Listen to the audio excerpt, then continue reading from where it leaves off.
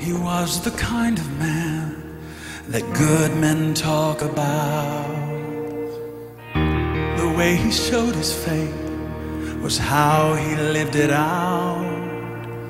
His hands were rough and cast, and his shoes were old and torn.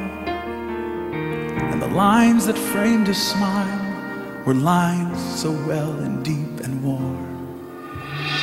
So, what will be remembered of what he left behind? What will stand the test of time? How to love your neighbor, how to love your wife, wrap your arms around your children and pray with them each night. Thank God things are enough. It's the ties that bind and leave behind a legacy of love.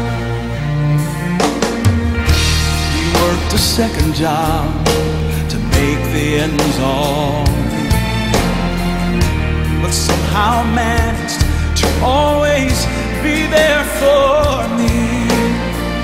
Taught me how to listen, how to stand for what is right.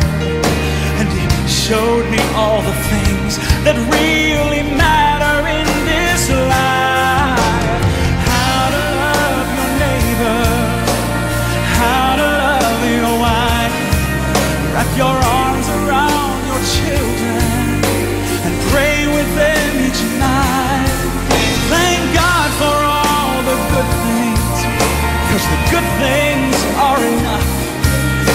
The ties that bind and leave behind a legacy of love.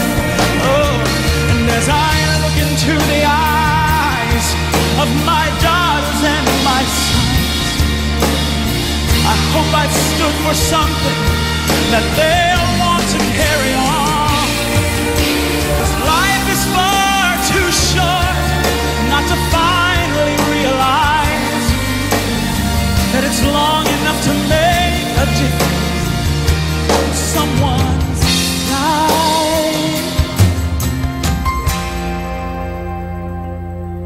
So I'm gonna love my neighbor, and I'm gonna love my wife, wrap my arms around my children, and pray with them each night. Thank God for all the good things, cause the good things